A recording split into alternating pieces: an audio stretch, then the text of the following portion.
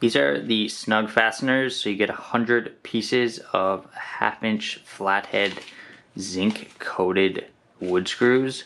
I used these for a wooden uh, chair project and they worked perfect. I was using them with an L bracket to keep the, uh, the wooden chair sturdy.